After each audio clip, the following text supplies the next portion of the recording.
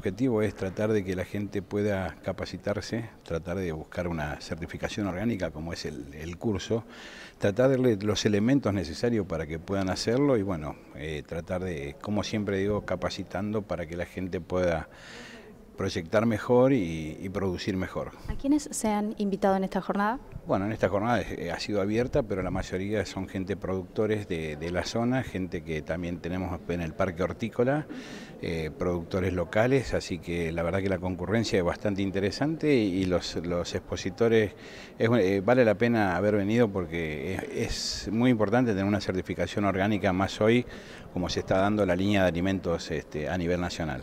¿Quiénes disertarán hoy y cómo fue eh, puntualmente eh, la elección de quienes serán parte de este encuentro? Bueno, eh, viene la gente que certifica orgánicos de Letis, ellos son los que este, nos, van a, proporcionar esto, lo que es la información para que la gente pueda, este, ya te lo dije anteriormente, poder certificar orgánicos que en este momento le da un valor agregado extra a lo que estamos haciendo.